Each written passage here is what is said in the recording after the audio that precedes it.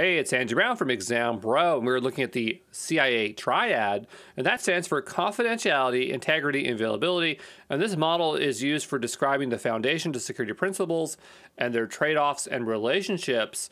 Uh, and so, just to look at it here quickly, so we have confidentiality. So, is a component of privacy that implements to protect our data from unauthorized viewers.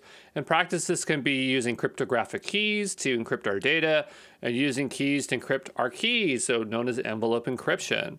You have integrity, so maintaining and ensuring the accuracy and completeness of your data over its entire life cycle. And practice, utilizing ACID compliant databases for valid transactions, utilizing tamper, uh, tamper evident or tamper proof uh, hardware security modules, so HSMs, or availability. Information needs to be made available when needed. So in practice, you want things to be uh, highly available. You want to mit- mitigate DDoS attacks. You want to uh, have decryption access. That looks like there's a spelling mistake here. Something looks funny there, but um, the CIA model was or triad was first mentioned in the NIST publication in 1977.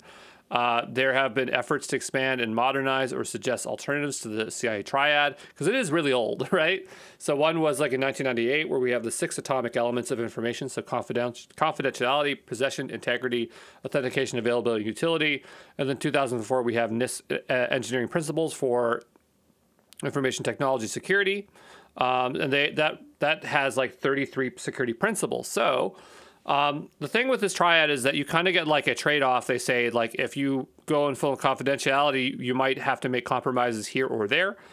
Um, to what degree? I don't know, but this is a very well known model. And so it's just good for you to know it, okay?